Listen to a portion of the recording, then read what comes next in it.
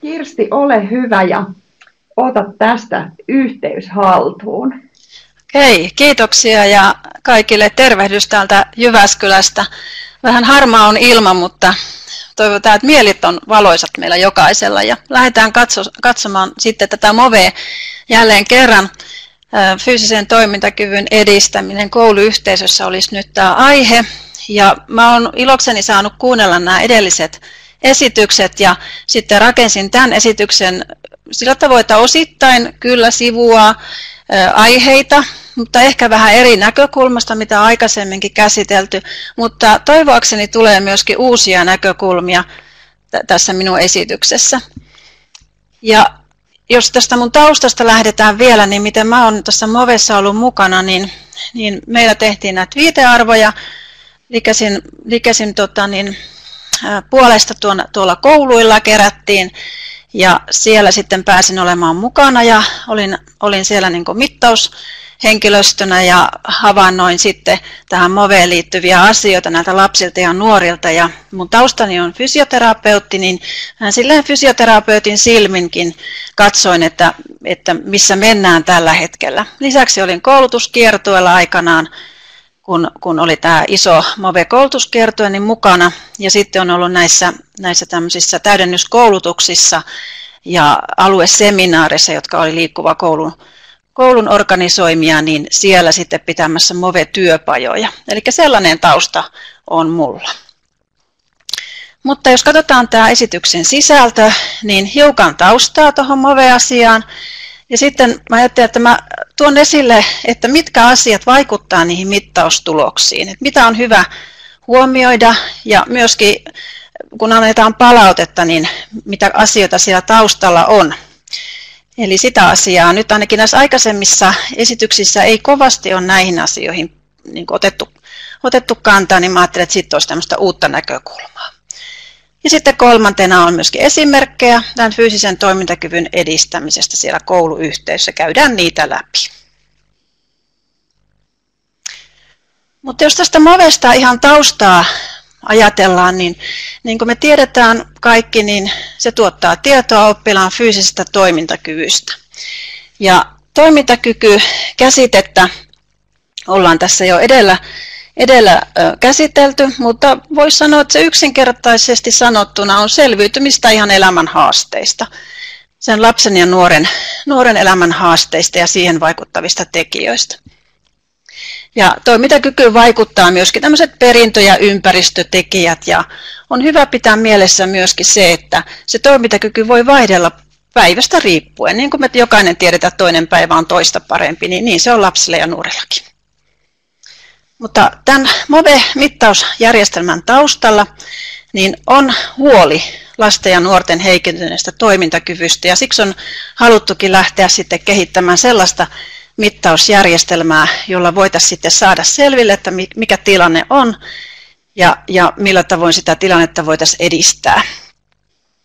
Koska tämä fyysinen toimintakyky kaikkiaan, niin se vaikuttaa ratkaisevasti ihan tämmöiseen päivittäiseen hyvinvointiin ja terveyteen. Ja niin kuin me tiedetään varmastikin, että meillä ei ole mikään hirveän hyvä tilanne kaikkien lasten kohdalla siitä, että fyysinen toimintakyky olisi niin riittävällä tasolla, vaan on paljon lapsia, jotka ovat vähän liikkuvia tai heillä on muita tämmöisiä toimintakyvyn haasteita, jotka voi eristää sitä lasta osallistumasta jopa ihan tämmöisiin välituntiaskareihin tai tai oman vapaa-ajan harrastuksiinkin. Ihan siitä, siitäkin näkökulmasta niin on hyvä, että me saataisiin tähän asiaan sitten muutosta.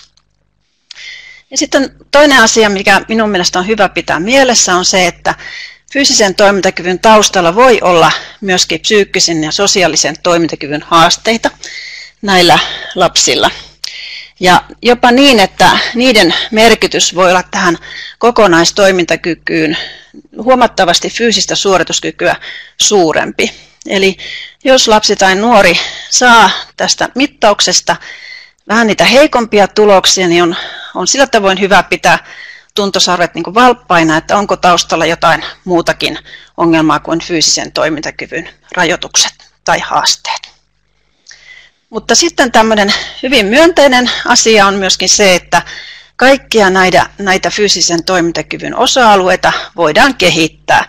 Meidän täytyy vain löytää ne työkalut ja keinot, keinot millä me saadaan tämä lapsi ja nuori sitten näiden, näiden liikunnallisten harrastusten pariin.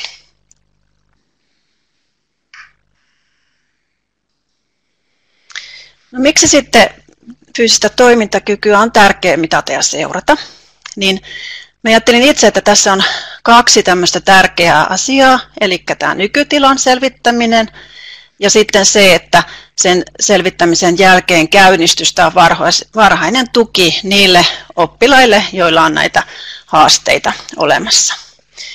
Ja tavoitteena on tietenkin auttaa tätä oppilasta ja hänen perhettään ymmärtämään, että mikä se fyysisen toimintakyvyn yhteys on siihen terveyteen, hyvinvointiin, jaksamiseen ja opiskeluun.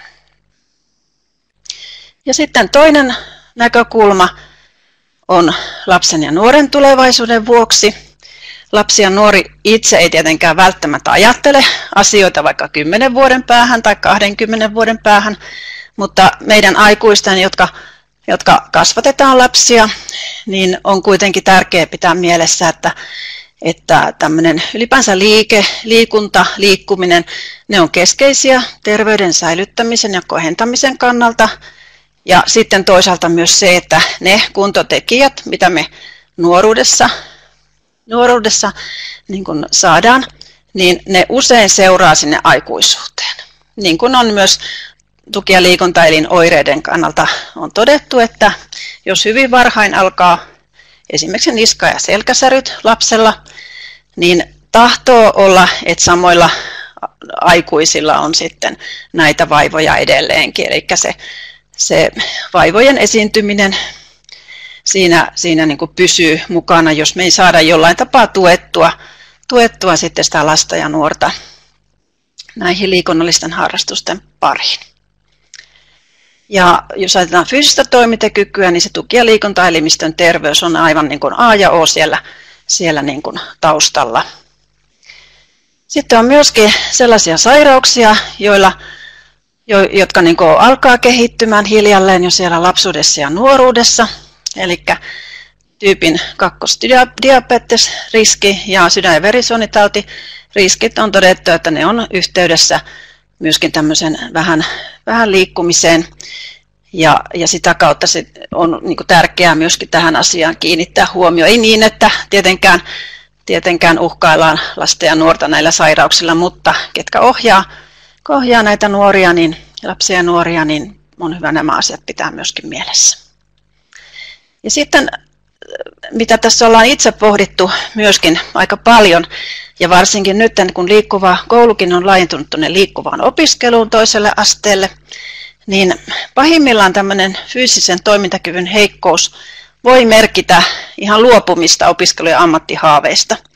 Eli senkin puolin, puole, puolesta niin on tärkeää niin saada semmoinen tietynlainen katsaus siihen asiaan ja sitten varhain, varhainen tuki sinne käynnistettyä, jotta nyt ei tarvitse sitten niistä ihanne ammateista tai niistä, mihin on ajatellut unelmoi, unelmoivansa lähteä, niin ei tarvitse sitten luopua, vaan että sen eteen sitten tehdään yhdessä toimenpiteitä, että näin, näin ei pääsisi käymään.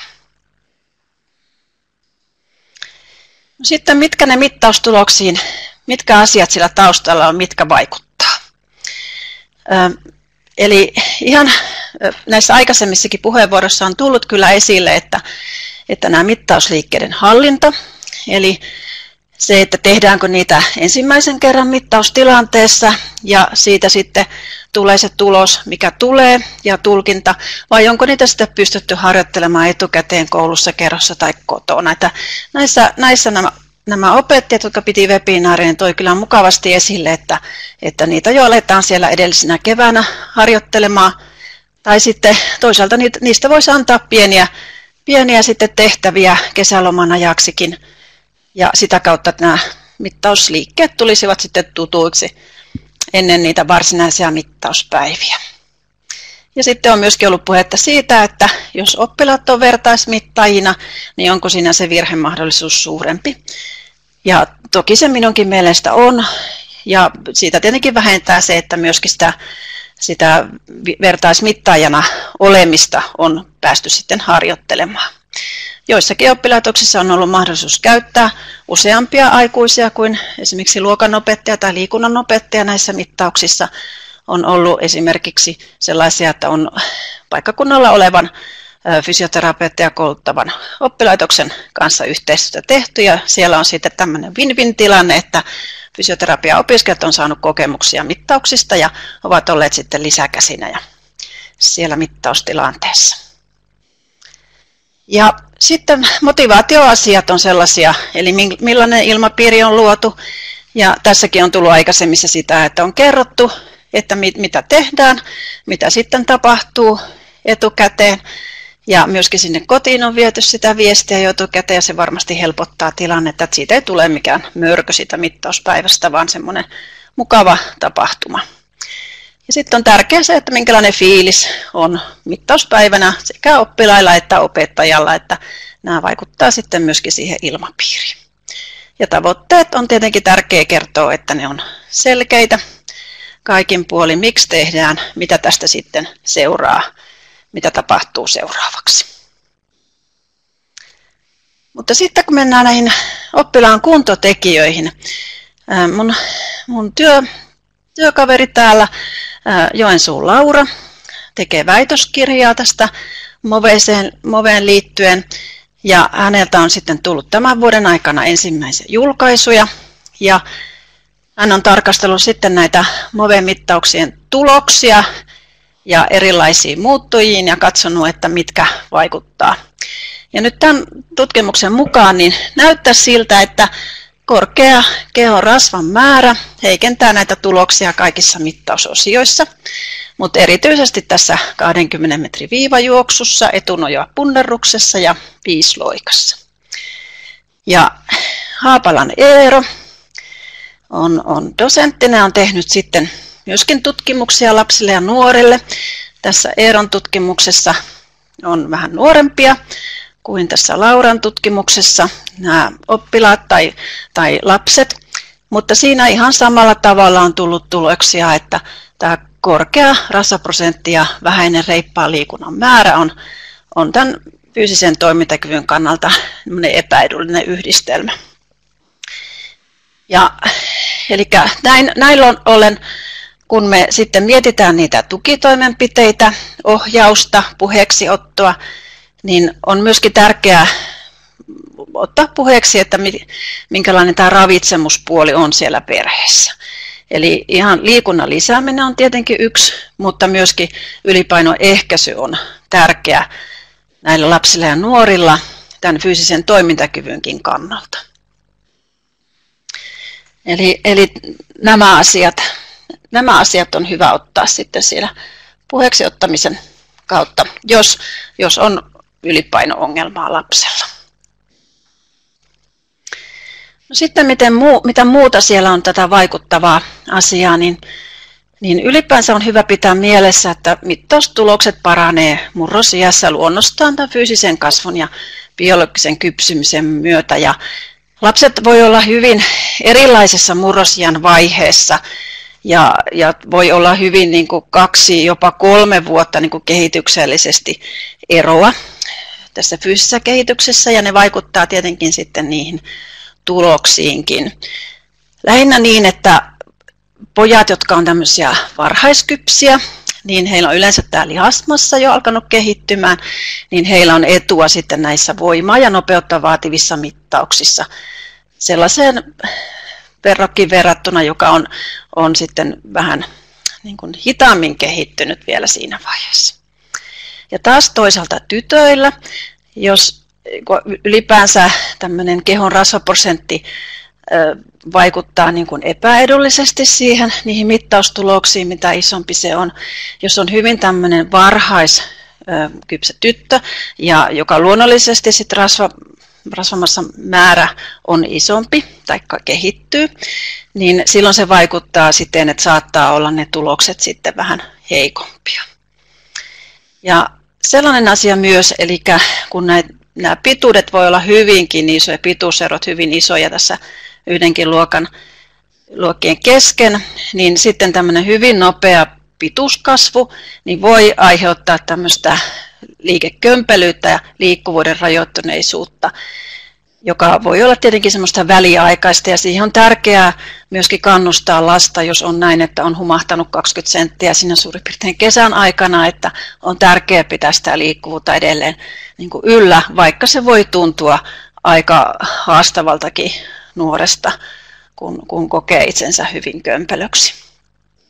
Mutta tämä liikkuvuus ja tämmöinen nopea pituuskasvu vaikuttaa sitten näihin liikkuvuusmittausten tuloksiin, että voi saada sen vuoksi niistä sitten niitä, niitä nollapisteitä.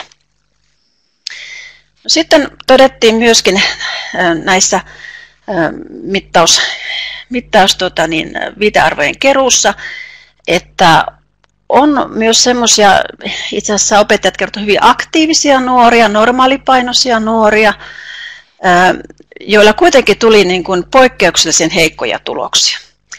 Ja sitten siinä, että no mitä siellä taustalla on, niin on hyvä sitten tällaisen oppilaan kohdalla miettiä, että onko se liikunta moni, riittävän monipuolista vai onko niin, että on niin, kuin niin tiukasti yhden lajin harrastaja ja sitä kautta sitten saattaa kehittyä sitten joku ominaisuus, esimerkiksi voi olla vaikka kestävyys hyvä, mutta sitten liikkuvuus voi olla esimerkiksi niin, että siinä on sitten niin kuin isojakin haasteita.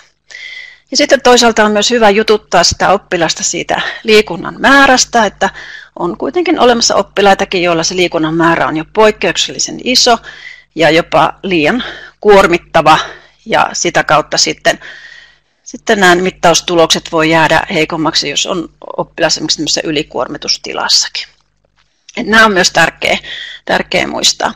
Ja sitten on tietenkin näitä, että mittaustilanteisiin on voinut liittyä jotakin epävarmuustekijöitä, voi olla sosiaalinen paine esimerkkinä, että, että on kunto, kunnolta, kunnoltaansa niin kuin parempi, mutta voi olla, että siellä on sitten painetta tehdä asioita vähän vähän niin kuin heikommin, jotta saa semmoisen hyväksytyksi tulemisen tunteen. Eli ei uskalleta ihan tehdä sitä, mitä sitten, sitten kunto edellyttäisi, tai muita tämmöisiä vastaavia tilanteita.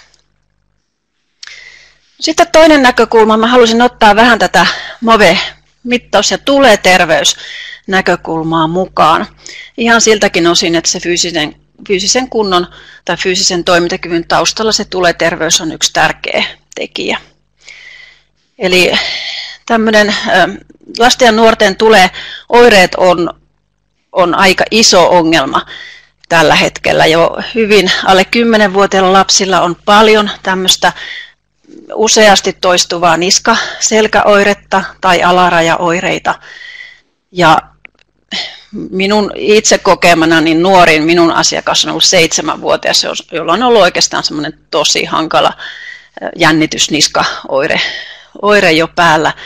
Ja sitten on paljon, paljon sitten ollut jo artikkelit ja tutkittuakin tietoa siitä, että alaselkäoireita on erityisesti tytöillä hyvin paljon.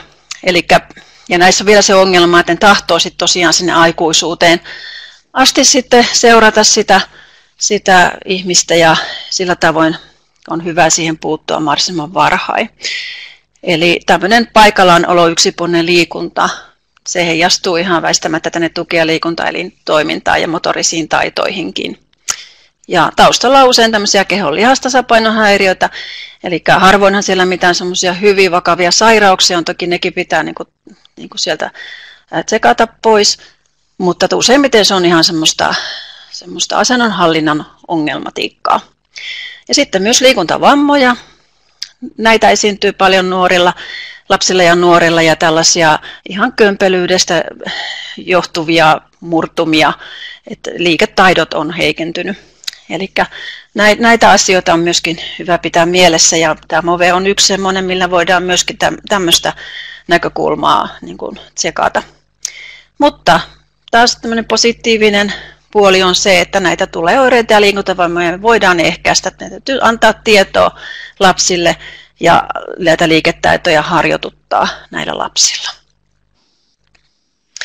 No sitten mä lisäsin tähän, tässä on nämä MOVE-liikkeet ja sitten, että mitä ominaisuuksia taitoja nämä harjoituttaa.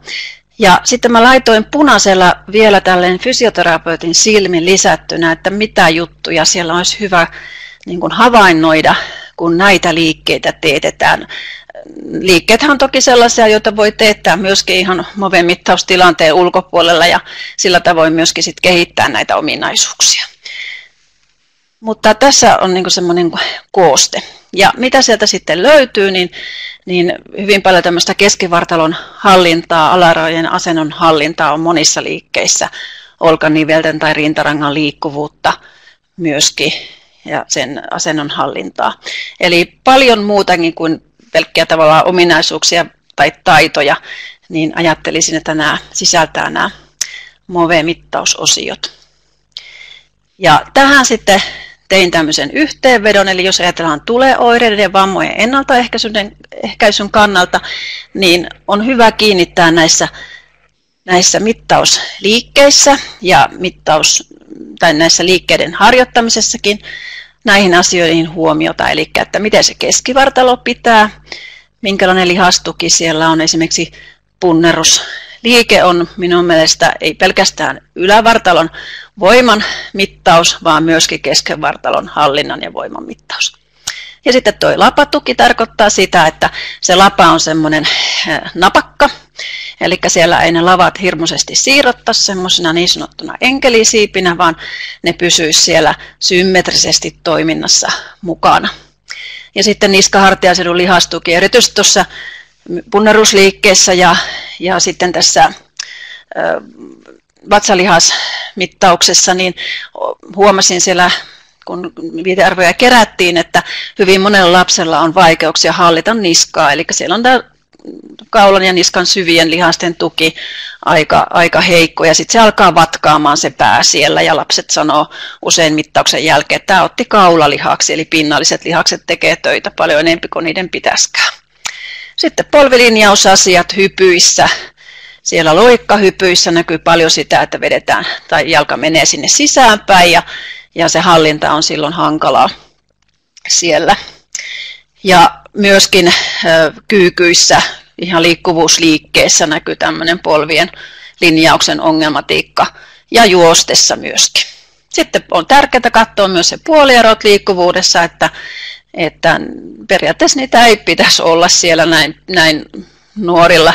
Vammathan voi tehdä sitä, että on, on sitä puolieroisuutta, mutta jos ajatellaan ihan perustervettä lasta ja nuorta, niin kyllä ei pitäisi tänne ikäisillä puolieroja kovinkaan vielä olla. Sitten on vielä semmoinen, mitä ei oikeastaan vielä ole tullut, eli myöskin on yliliikkuvia lapsia, joissa, joissa näissä mittausliikkeissä tulee sitten hyvin graaviakin polvien yliojennuksia, kyynärivelten yliojennuksia, Eli tämä olisi yksi sellainen asia, mitä, mitä pitäisi myöskin pohtia ja sitten ohjata lapselle ja nuorelle sitä asennonhallinnan kontrollia.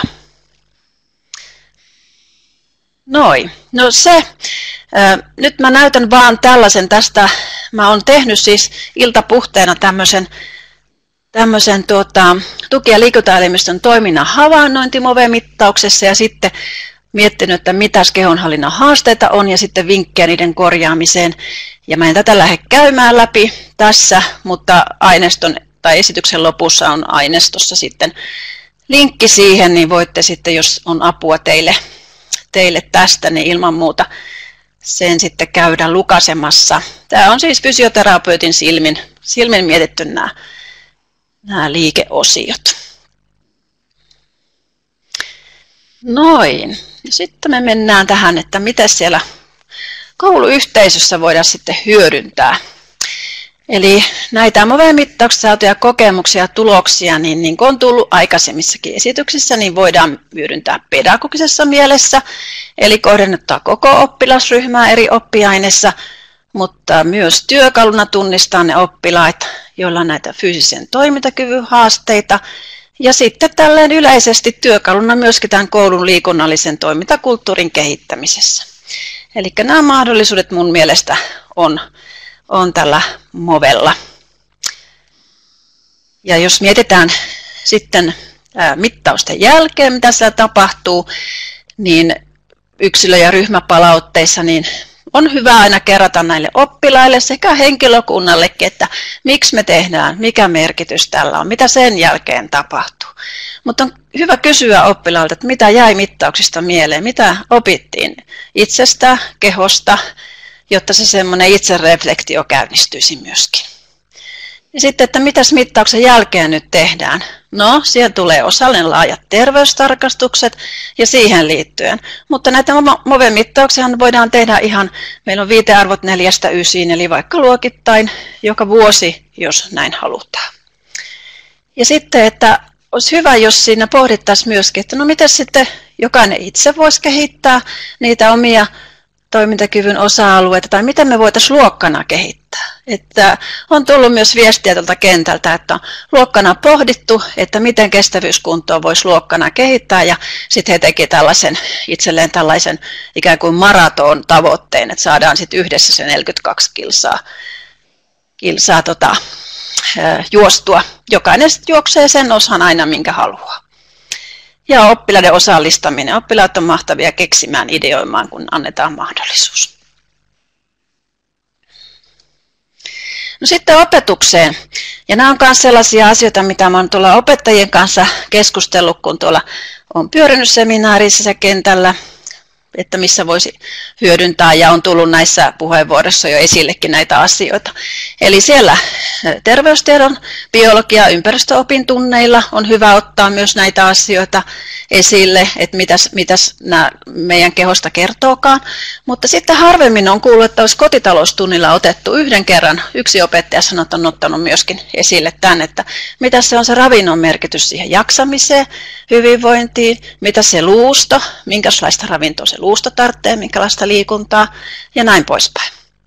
No sitten liikuntatunneilla on myös ollut liikunnan tukiopetuksessa näitä tai muilla oppitunneilla. Tämä on semmoinen aika luonteva tapa tietenkin tuoda esille näitä asioita. Mutta sitten opot tai muuten ammattivalinnan ohjauksessa, niin myöskin sen oppilaan tukeminen toimintakyvyn kehittämisessä olisi tärkeää siltä osin. Ja siitä kohta näytetäänkin sitten pieni esimerkki. No sitten me ollaan tehty yhdessä Tervekoulunne-hankkeen kanssa niin tämmöiset opettajien tai terveydenhoitajien työn tueksi tämmöiset MOVE-treenit. Ja, ja niitä on tämmöinen viisi kappaletta plus sitten MOVE-lämmittely, joka on tehty jo aikaisemmin. Ja nämä on pdf-nä saatavilla, plus näistä on videot, niin Raija ottaa nyt kopin sieltä ja näyttää yhden videoesimerkin. Joo, eli hypätään nyt tuonne nettisivun näkymään, niin ihan pieni hetki, niin mä jaan teille täältä tota Terve koululaisen verkkosivua. Eli nyt toivon mukaan siellä rupeaa näkyyn toi meidän hankkeen etusivu, mistä voi sitten katsoa ihan niitä meidän ala- ja yläkouluun tuotettuja aineistoja. Ja sitten siellä on tämmöinen opetusmateriaalipankki, joka löytyy ihan tuolta ylänavigaatiosta, tai sitten voi, voi poimia täältä tätä anteeksi, nyt mä klikkailin ihan omiani, voi poimia sen myös tästä kuvakkeesta, eli tuo opetusmateriaaliosiossa on sitten jaoteltu vähän meidän erityyppisiä aineistoja, ja sitten siellä on myös työkalut teemoittain. Tämmöinen osuus, niin esimerkiksi sieltä löytyy nämä movetreenit. Ja ihan hakemalla Googlessa tai meidän, meidän sivustolta, niin nämä kyllä, kyllä löytyy. Ja täällä sivustolla on tosiaan nyt sitten noin samat treenit olemassa, mikä Kirsti oli koonnut tuohon kalvolle, niin, niin täältä löytyy aina video ja sen alta sitten toi PDF, mistä oli kuva, kuva äskeisellä slaidilla. Eli jos otetaan täältä nyt sitten toi kuntosali osio, niin täällä on alkuun tulee aina teksti, että mistä on kyse ja täällä on reippaasti alkulämmittelyliikkeitä, ja sitten me Kirstin kanssa katsottiin, että jos mä laitan vaikka tästä pyörimään, niin Kirsti voi sitten vähän kertoilla, että minkälaisia treenejä tämä nyt on. Joo, eli nämä nyt on rakennettu sille, että nämä periaatteessa kun kouluissa on osissa kuntosaleja, niin niillä laitteilla ihan pystyisi tekemään, tai sitten ihan osittain myöskin kuminauha liikkeenä pystyy sitten tekemään. Ja yläkouluikäiselle tämä on enempi suunnattu tämä tämä kuntosaliharjoitus ja sitten on tämmöinen ähm, niin toiminnallisempi harjoitus on sitten, joka soveltuu esimerkiksi vitosluokkalaisille tai alakouluikäisille.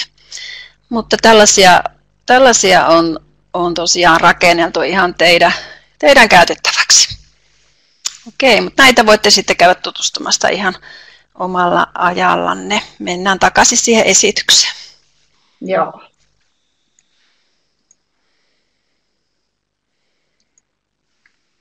Eli nyt pitäisi kaikille pikkuhiljaa avautua takaisin toi kalvosetti. Joo. Eli siitä ollaan tehty. Ja sitten aivan maan mainio on kyllä, joka enempi minusta soveltuu sinne alakouluikäisille, mutta aivan hyvin voi yläkoulu toinen astekin hyödyntää näitä liikeideoita. Eli tämmöinen skilli lataamo, eli tämä on Innostun liikkumaan hankkeen tuottamaa materiaalia, josta saa kyllä ihan vinkkejä, että miten, miten voi ottaa sinne vaikka oppitunnille osin pieniä taukojumpan tyyppisesti tehtäviä harjoituksia tai välitontiaktivaatio tai sitten liikuntatunneille tai kerhoihin. Eli suosittelen tutustumaan, jos et ole vielä tutustunut tähän materiaaliin. Siellä on paljon muutakin tämmöiseen motoriseen harjoitteluun liittyvää materiaalia. No sitten enempi yläkouluikäiselle otin puheeksi äsken, että myöskin tässä ammatinvalinnan ohjauksessa on hyvä käsitellä sitä, että miten se oma toimintakyky, vastaako se sitä, sitä unelma-ammattia, mihin on, on haaveilemassa. Ja sen tueksi me ollaan tehty tämmöinen kuin kestävyyskunto, terveys ja työkyky esitys, josta on olemassa ihan tämmöinen puhuttu YouTube-video, slaidiesitys sekä sitten tämmöinen vähän laajempi Word-materiaali, josta sitten näkee vähän tätä taustaa tähän kestävyyskuntoasiaan. Eli tämä soveltuu yläkoulu- ja toisen asteen oppilaitoksiin. Ja siihen liittyy myös tämmöinen kestävyyskunnon ennustelaskuri, fyysisen toi, työkyvyn arviointi, eli voi niin vähän katsoa, että ahaa, nyt viivajuoksusta tuli tuommoinen määrä viivoja tai aikaa, miten te sitten olettekin sen halunnut mitata, ja sitten, että mikä ikä on nyt, jos haluaa katsoa, että no, mitä sitten olisi vaikka kolmikymppisenä, suhteessa siihen, minkälainen kestävyyskunto oli silloin nuorena, että onko minulla vielä kuntoa, ja sitten sieltä saa tämmöisen ennuste, ennuste tota kaavion, että riittääkö se kunto sinne sinne miten hyvin siellä työelämässä tämmöisissä esimerkiksi keskiraskaissa ja raskaissa töissä. Eli siihen pyydän kanssa tutustumaan, niin jos saatte sieltä materiaalia sitten sinne esimerkiksi oppitunneille tai muuten puheeksi ottamiseen. Sitten muuta, niin näitä harrastekerhoja, kohdennettuja ryhmiä on, on osin kouluissa järjestetty myöskin, myöskin tämmöisiä niin sanottuja move-ryhmiä. Ne voi olla millä nimellä tahansa. Yleensä lapset ja nuoret on hyviä keksimään nimiä, mutta tämmöisiä kohdennettuja kutsuryhmiä. Sitten vertaistukea on myöskin hyödynnetty ihan liikunnan puheeksi ottamisessa. Eli siinä on sitten näitä liikkareita, liikuntaagentteja, tuutoreita hyviksi, ja ne on monella nimellä tukaritoimintaa. Mulla on tässä tähän tukaritoimintaan liittyvä tämmöinen äh, tota niin, kuva, ja tästä on myös linkki, eli nyt tämmöinen hyvinvointitaito materiaalipaketti on tehty tukioppilastoimintaan myöskin, jossa on ihan yleisesti hyvinvointiin liittyviä asioita, mutta myöskin liikunnan puheeksi ottamiseen, milloin vertainen voi olla kannustamassa toista oppilasta sitten vaikka kerhotoiminnan pariin. No sitten lasten ja nuorten ohjaus sinne kunnan urheiluseurojen, yksityisten palvelutuotteen tarjoamiin harrasteryhmiin. Aika vähän on Suomessa vielä niin kootusti saatu harrastepalvelukalenteria, jotka on suoraan lasten ja nuorten harrastuksista. Monissa kunnissa näitä erilaisia ryhmiä on, mutta tietoisuus siitä, mitä siellä pyörii, niin, niin se on ollut haaste esimerkiksi terveydenhoitajille saada, että mihin voi lasten ja nuorta sitten ohjata. Sitten on tärkeää myös, että sinne perheliikuntaan kannustettaisiin ja lähiliikunta- ja luontoliikuntapaikkojen mahdollisuus Ja siihen liittyy myös yksi linkki, joka mulla on tuossa materiaalissa.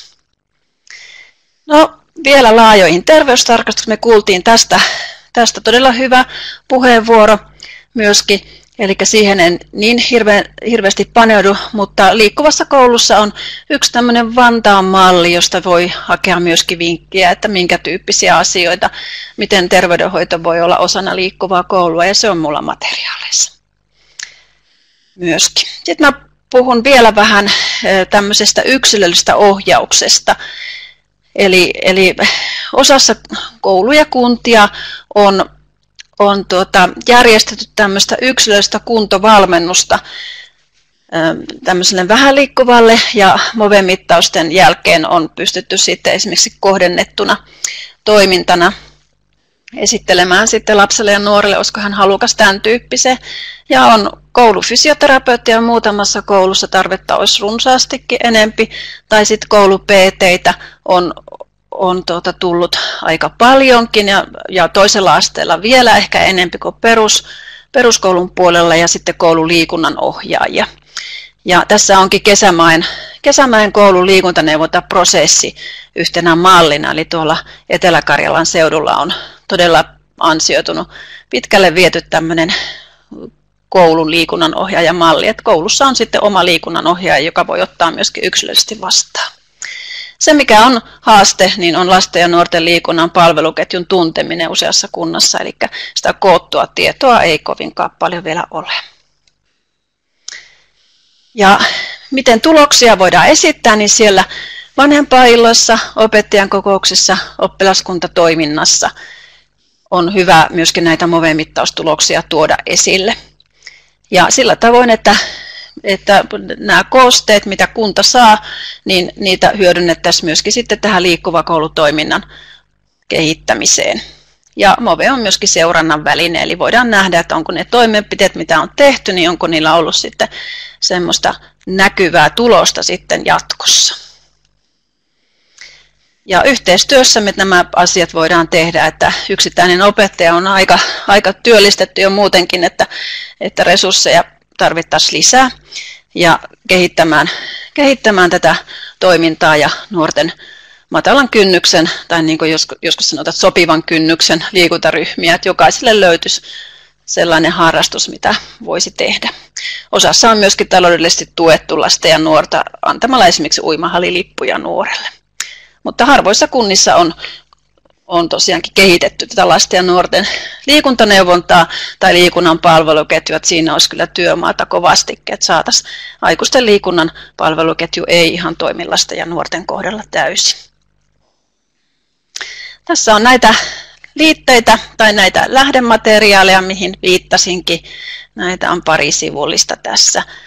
Mutta tämän esityksen haluan lopettaa siihen, että, että se lapsi ja nuori ei välttämättä pohdi sitä, että onko hänellä huono kunto, vaan se, että kelpaako hän niiden kavereiden keskuudessa ihan sellaisena kuin hän on. Ja se on se tärkeä asia. Kiitos. No niin, katson, että teillä on näitä kysymyksiä täällä, eli fysioterapeutit olla mukana, se on ihan totta. Eli hyödyntäkää fysioterapeuttia. Kysykää rohkeasti sieltä kunnan, esimerkiksi terveyskeskuksesta, voisiko fysioterapeutti olla, tulla mukaan. Että mä ainakin itse, kun olen töissä ollut fysioterapeuttina myöskin ter- terveyskeskuksessa, niin silloin enempi oli niin, että koululainen tuli sinne mun vastaanotolle, ei niinkään, että minä menisin sinne, mutta voisin ajatella, että nykyaikana vähän, vähän voitaisiin eri laillakin tehdä tätä työtä. Eli siis tuletoiminnan apua tarvitaan kyllä, tarvitaan. Ja siksi mä teinkin sitten semmoisen työkalun siihen, että jos siitä olisi vähän apua. Sitten Katja sanoo tai kysyy, että Joo. Mitä näkisi, että olisi hyvä painottaa? Joo, no tota,